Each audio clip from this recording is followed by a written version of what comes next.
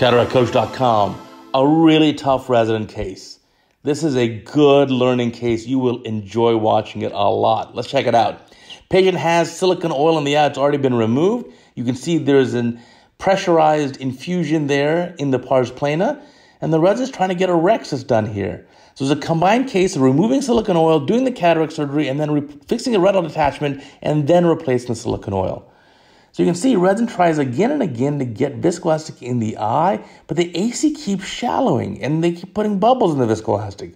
So it's very difficult to finish this rhexis. So what's going on here?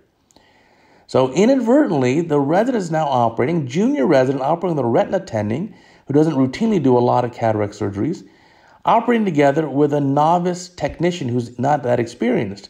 And the issue we're having here is first, there's no red reflex. It's very difficult red reflex given the retina problems and no trypan blue dye is available. That's one problem. Another problem is the infusion is still on.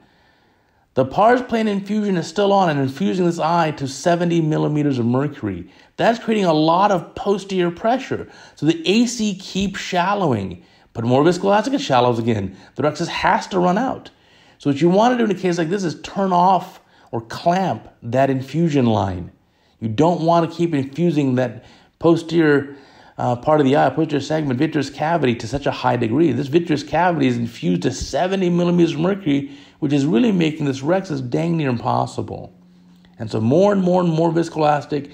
Now a little bit of a restart of the rhexis and another area is going to be completed. It is not going to be simple. But finally, the rhexis gets completed. The little maneuver fails to work here. Again, very hard to overcome that posterior pressure from that active infusion line. So you want to turn off that infusion. So the nucleus removal will be relatively straightforward here. And again, this is a junior resident who's just learning, but that's a really nice chop, by the way, for a junior resident. wow, that's a really nice technique. So the resident certainly has good hands, just as inexperienced. Resident's doing some really nice techniques here, given that this capsular rhexis is radialized in one area. And the nucleus is chopped and removed pretty efficiently. And that looks fantastic.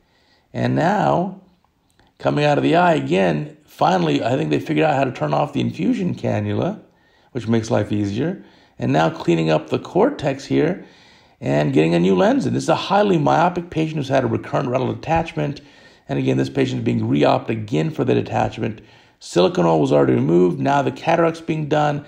Then once the IOL's in the eye, the retina will be reattached and more silicone oil will be placed inside the eye. So important to keep an intact posterior capsule. You want with the silicone oil, you really want to try to separate that uh, vitreous cavity from the anterior segment of the eye. So good cleanup here of the lens cortex. We sped the video up. The total surgery is long. You're looking at more than an hour just for the the anterior segment stuff as well as for some of the vitreous stuff. So cleaning up here, nice filling the bag with viscoelastic. And here comes the lens. Now let's watch. Yet another challenge is coming up. I can warn you the resident provided some good details. So apparently this lens is going to go into a three-piece lens, highly myopic eye, seven diopter lens per record, and leading haptic's already coming out of the injector. That's already a mistake. And what happened to our 7L rule? That's not a number seven, is it? No, it's the wrong direction. That's not a seven. It's upside. That haptic's the wrong orientation.